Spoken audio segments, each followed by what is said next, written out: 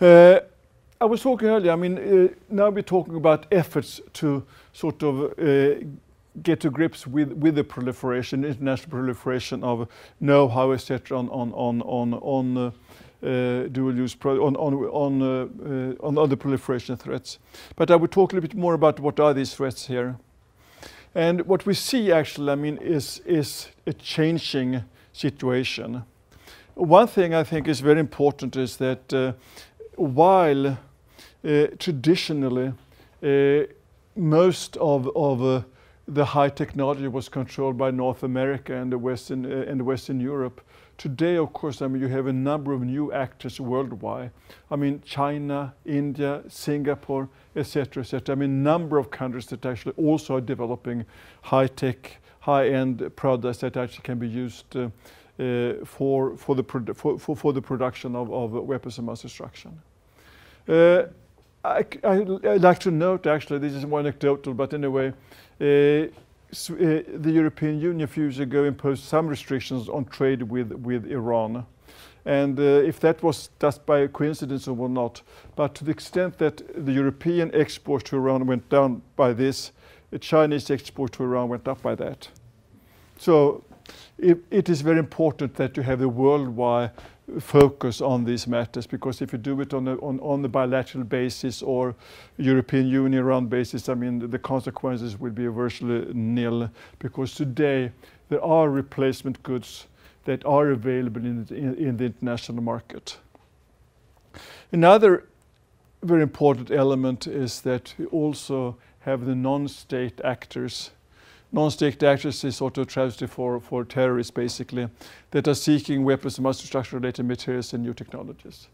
I mean, this is something we also need to contend with. This sort of the states, uh, states with the stability that we at least uh, expect even from, from dictatorships that there actually will be some stability and uh, non-use of weapons of mass destruction. But I mean, now we will also have, uh, we also need to contend with the non-state actors, with the terrorist threats. And another, another point is this lack of awareness. I mean, at universities, of course, we all talk about, you at the university, we talk about academic freedom. A part of academic freedom, a very important element of academic freedom was also, of course, the exchange of views and know-how between universities around the world. And of course, I mean, this is what we're talking about here is uh, really very limited pockets of know-how which is particularly sensitive that we need to be very careful about who will get access to, to that. But we also have new high-tech companies that have developed uh, fabulous new products and they are so keen on the technologies, they are so focused on these new uh, fabulous items they've developed that they sort of not really know that uh, these actually could be of a type that uh, can be dangerous that could help the production of weapons of mass destruction. And finally, change in trade patterns. I will get back to some of these uh, elements in the next few pictures. This, I think, is very symptomatic. I mean, to the extent that uh, our proliferation efforts have been more strenuous, more effective, we've also seen a move uh, where some years ago, of course, I mean, when you had the supply of these goods, you had an end user. It was a very direct link and of course, I was very also then very easy to cut off. Then, of course, I mean, the uh, end user uh, established some kind of procurement organization. Once you sort of cut that way out, of course, then they start using various traders. And this, with the years, I mean, the supply network has become more and more complex. I mean, you use actually traders not only in one country, but in two or three countries. So, I mean, the sensitive goods, again, if we just say the end user is in Iran, this product might have passed through two or three different uh, traders and uh, uh, procurement organizations, etc., on its way. So, of course, I mean, our work to stop these proliferation flows become more and more strenuous, more and more difficult to uphold because uh, the increasing ingenuity of, of, of, of, of these networks. I mean, even a country like United States that have uh, sort of a worldwide verification or worldwide technological network, I mean, with technical officers at most of their embassies around the world, I mean, they detect a number of, of uh, uh, non-intended end users we don't have the same kind of situation. I mean, our, uh, so I'm just, uh, well, not always want to know what is sort of going on out there because, I mean, it's virtually impossible to have a full control of all this very complicated chain of, of supply to end user. But that is our, our, our, our, our work. And of course, I mean, there's, there is also an international network of uh, identification of uh, the sus of suspect activities. And I mean, not mentioning any particular countries, I will still mention, I mean, two very well-known uh, countries which are being used for this kind of proliferation efforts is the United Arab Emirates and also Malaysia. And of course, I mean, for us, it is a matter of putting particular emphasis on controls on exports, not only to Iran, but also to these two countries. Oh, I'm sorry, but the picture, there should, there, should, there should be a picture here actually of a man, but that picture disappeared. I'm very sorry about that because I mean, uh, could also, uh, does anyone know the name of A.Q. Khan? No. Anyway, anyone who is interested in uh, non-proliferation efforts should know this guy because this is a very typical example of how things can go wrong. I mean, this is a Pakistani man a Pakistani man who worked in, in, in, in, in a laboratory in, uh, in the Netherlands back in the 1960s, 70s. And actually, he used his time there to get a full understanding of uh, nuclear, get a full understanding of, of, of nuclear, uh, how, how uh, the, the, of the nuclear processes, which he then went back to Pakistan and with some help from North Korea actually was the father of the Pakistani nuclear bomb, which was then exploded back in 1998. On top of that, not only this proliferation effort, I mean, I'm talking about the sensitive technologies, how they could be brought from a country like Netherlands, from Sweden, whatever, to, uh, in this case, Pakistan. On top of that, he was then at the head of further proliferation efforts. I mean, he's been supplying Iran with the know-how, he's supplying Libya with the know-how, he's supplying other countries with know-how as well. Uh, so this is sort of the danger with, with, with, with this kind of perforation uh, that's going on. And I'm sorry I could not show the picture of him, but anyway, you know the name anyway now and how things work. He looks rather innocent on the picture, as a matter of fact. He looks like a nice old gentleman, but uh, his uh, work can uh, result in the deaths of millions of people if worse comes to worse. This picture is better. I mean, here you can see in the text. But in a way, uh, these are sort of some of the new approaches that we are using. I mean, the 1540 process and decisions by by by, uh, by the Security Council Iran and and and uh, and uh, North Korea.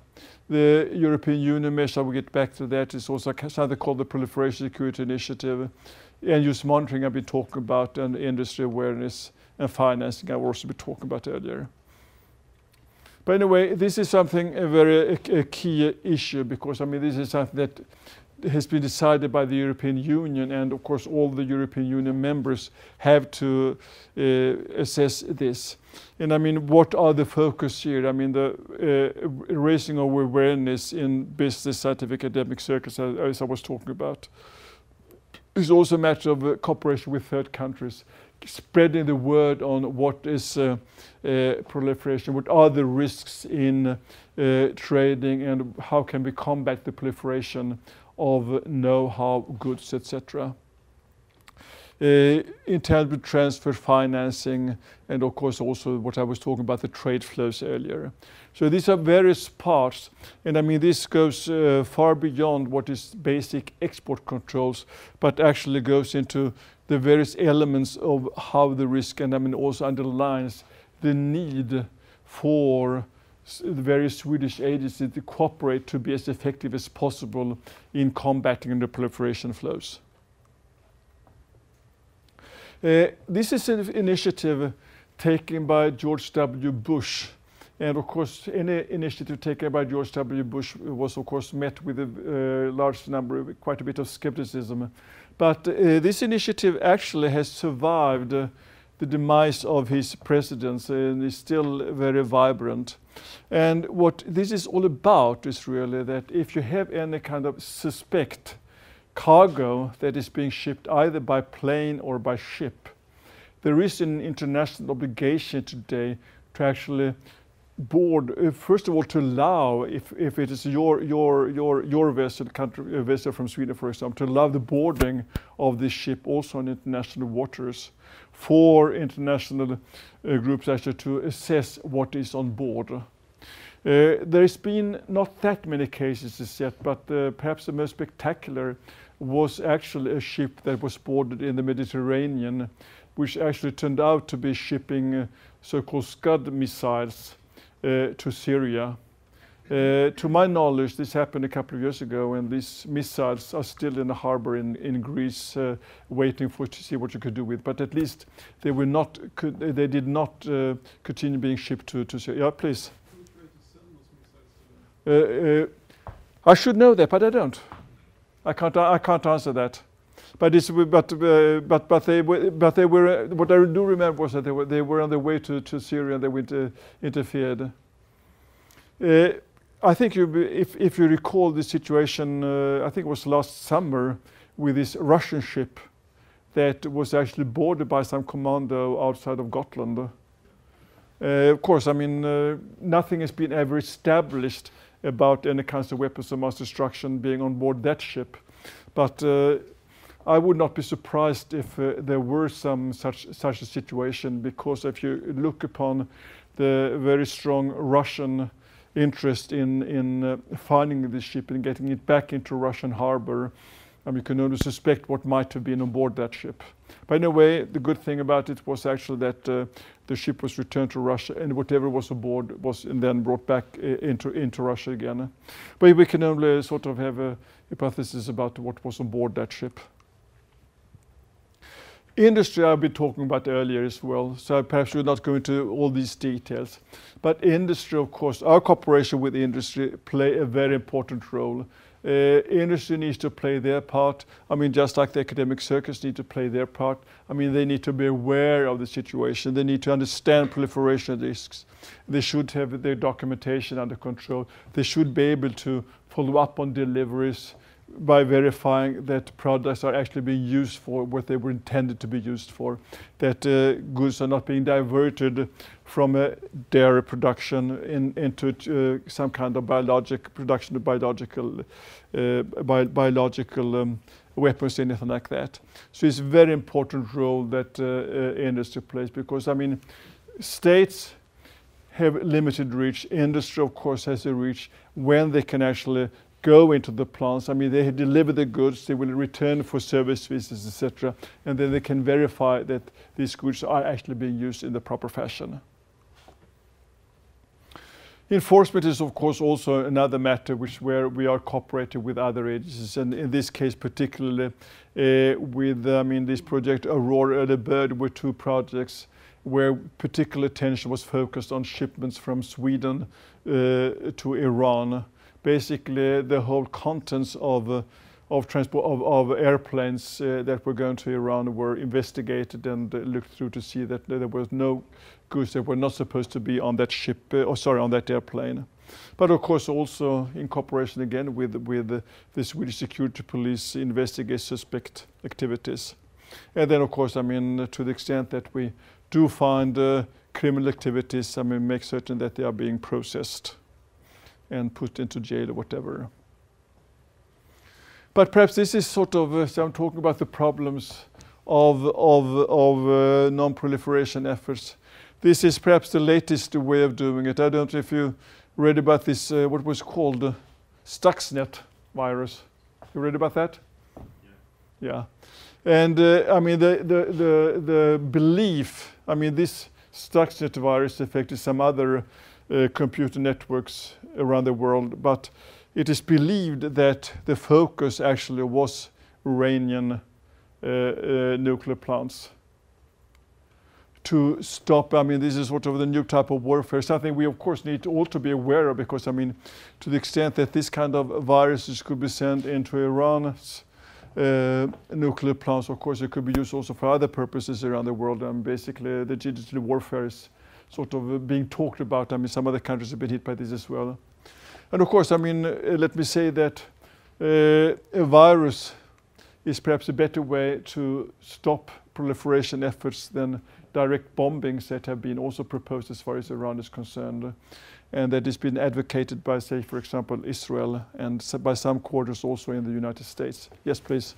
It seems like lots of things are going on that we don't know about. I mean, uh, if people actually attack each other with viruses and commander raids and ship, I mean, who are doing this? Are these like intelligent intelligence agencies?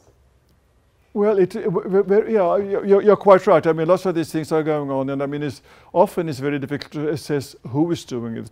With this, I would not be surprised if it was turned out that these are sort of uh, uh, based in the United States. Could be Israel as well. I don't know. You had another uh, similar attack on Estonia. Uh, I think it was two years ago, and there it was established that most likely the source of these viruses actually uh, were in Russia, in Moscow.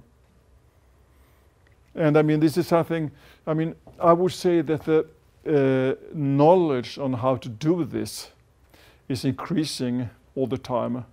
And for a nation like, uh, well, for any nation, Sweden, for example, I mean, uh, a key element is to make certain that our uh, networks cannot be hit by this kind of, of, of, viruses.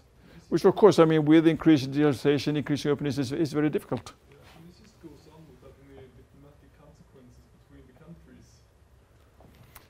Well, because it's very difficult to assess, I mean, to confirm. I mean, also in the Estonian case, it's never been 100% confirmed that, that uh, Russia actually was behind it. And, and uh, I mean, in this case, I don't think you will ever get a confirmation either who is actually behind it. I mean, just like any kind of virus attack is, uh, I mean, even if it's just a basic hacker attack, I mean, can be very often be very difficult to, to establish who actually is the culprit. And the same thing with this. I mean, this is more. I mean, the hackers, of course. I mean, know what what what what they are aiming at. I mean, it could be just to get into a secure network or whatnot. But this is a very professional way of doing it, where they actually have a particular target. In this case, Iranian nuclear program. But it's an interesting way. It's an interesting uh, new venue. And uh, again, as I said, I mean, it seems if you want to stop Iran from developing nuclear weapons, I would say this is seems like a very much better way of doing it than than, than bombing the nuclear plants in, in Iran. Don't you agree? Well, probably not as secure though. I mean, they could always get a, a virus program. I mean, mm. of, uh, of course, of course. Mm. But, but, but, actually, but actually, I mean, the whole effort, as far as Iran is concerned, is, I mean, a realization that uh, Iran continues developing uh, their, their, their, their, nuclear programs. But I mean, to, to delay it in order to hopefully get some kind of agreement uh, with the country, some kind of peaceful agreement. And of course, I mean, the lots of efforts are going on in that, that way as well. So, apart from what I've been uh, talking about, some efforts, I mean, what must be done.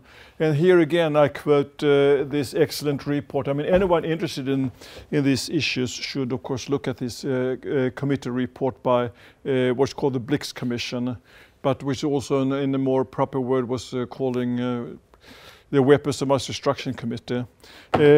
Apart from Mr. Blix or Dr. Blix, there were 14 other well-known political profiles uh, from all around the world. And they actually have around, in the, that book, they actually make about six recommendations on how you should go forward. And these are just sort of the basic or the most important of them. Of course, I mean, you should agree uh, internationally on, on uh, the general principles of action, I mean, which is, has to be done then by the United, United Security Council. But then you should reduce the danger of the present ars uh, arsenal and make certain that uh, both that uh, states don't use these arsenals, that, that terrorists don't get access to these arsenals, which you can do th uh, through various measures, uh, just by, by well, you can you can read yourself here about what you can do, how you can do it. And of course, I mean, you must also prevent proliferation, no new weapon system, no new processors. Prohibit tests, revive commitments, uh, negotiate with countries like Iran and North Korea. And of course also, which is very important, I mean this, that you negotiate international agreements for supply of uranium fuel and disposal of spent fuel. Because as you know, I mean there is, there is I think, and that I, that I think is very important to underline. I mean, there's no direct link between civilian civilian nuclear energy and uh, and uh, uh, weapons of mass destruction or nuclear weapons. It is actually only when you uh, process, I mean, the pr processing stage afterwards, which is dangerous. And that is why it is then proposed that that should be under international control, the processing, because then there is no risk that the spent energy or the spent uranium from nuclear power plants could be used for the production of bombs. So if you can agree upon that kind of thing, I mean, uh, the risk of proliferation will, will, will decrease. And then, of course, I mean, which is also important, prevent an arms race in space. So really, this is, as you can recognize, uh, Hiroshima again. I will end where I started. And this, of course, is a peace monument in, in Hiroshima. This is a, this is a process which was held on, on, on, on the anniversary of, of, of the bombing of, of Hiroshima. And of course, I mean, the hope, the effort, of course, basic is that these weapons should never be used again that uh, they should be abandoned, they should disappear, they should not be used uh, by any either state or terrorist organization. But at the same time, I mean, we should also be aware that uh, while we're talking about these things, while we're trying to get agreement on the various treaties, while we're trying to get agreement on non-proliferation issues, at the same time we know that Iran is developing nuclear weapons. We know that North Korea has the weapons and several other countries as well. We know also that that day, when it is, uh, a moment, when it is acknowledged that Iran has the nuclear weapons, uh, when they uh, make the first explosion, we know also that there are a number of other countries in that region that will feel a need to develop their own weapons. Countries like Saudi Arabia, countries like Egypt, etc. And of course, I mean, in such a volatile situation, the risk of actually these weapons being used increases very dramatically.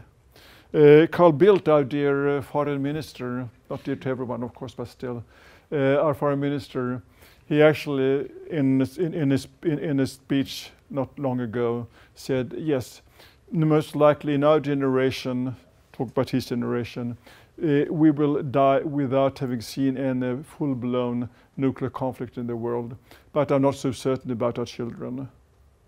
So these efforts that are going on to combat the proliferation flow, to stop the spread of nuclear weapons or weapons of mass destruction is extremely important. The nuclear Armageddon, as was portrayed during the Cold War, might not be at the focus now, but the more limited conflict in the Middle East, for example, with the use of weapons of mass destruction is definitely there. And the risk, of course, also of terrorists getting their hands on not perhaps a full-blown nuclear device, but radioactive material that can be used in an attack on a major city in Europe or United States is definitely there as well. So we need to be very effective in our measures, in our work to protect mankind and ourselves from future problem from this kind of situation. And as for ISP, finally, of course, we, you need to visit our fabulous website where you can even further information on these issues that I've been discussing. So with that, uh, I come to the conclusion. And before we break for a coffee, I think you had a question or a comment. So please.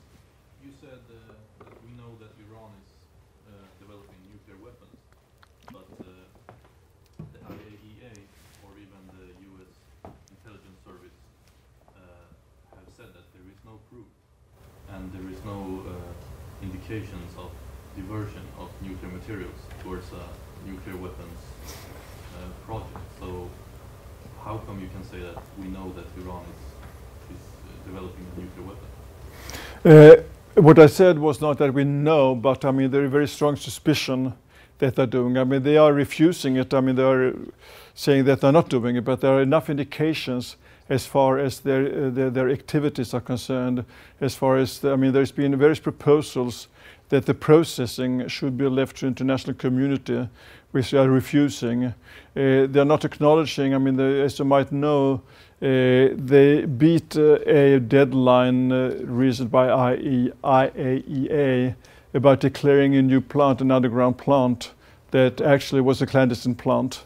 So I mean, there are, there are uh, I would say that there are uh, sufficient indications for the international community to conclude that not unlikely, if I should be careful with the words, that Iran is developing nuclear weapons. I mean, you have also there, as you have a, binding resolution from the United, Security, United Nations Security Council. I mean, basically, with, uh, of course, I mean, all the permanent members of the United Nations Security Council behind resolutions that actually are targets in Tehran to prevent the development of nuclear weapons. It's correct that uh, this one assessment, uh, which has been actually uh, went back a few years uh, with the indication that poss possibly Iran stopped the development back in 2004, something like that. But yeah, it's totally okay. But that the most likely that they are that they are continuing. Otherwise, they could be more open as far as uh, inspections by the IAEA is concerned, etc. So I mean, the likelihood. The, the, uh, I mean, there's no certainty, but the likelihood is, is very great and the world community is reacting to this very almost certainty that this is going on. So it, comes, when it comes to inspections uh, and IAEA, the country that has allowed the most inspections and most intrusive inspections are Iran. Like right now we have IAEA inspectors on the ground and there's cameras set up in in the nuclear facilities and everything is being weighed and, uh, and measured to make sure that there is no diversion. And during this whole time, IAEA has confirmed that there is no diversion. So what can Iran do to prove that they are not making a nuclear weapon, short of uh, short of saying no to their right to peaceful nuclear energy, which they have under the NPT? Mm-hmm. What can they do? Well, they can cooperate with the international community. More than Yeah, more than they more than they're doing, and uh, actually they can also allow, which has been uh, which has been proposed to them to send uh, uh not to uh, reprocess uh, spent uranium in Iran, but sending sending it abroad, which has been offered to them. They have actually allowed. I mean, there was an agreement, as you might know, in made in Turkey together with Turkey and, and Brazil.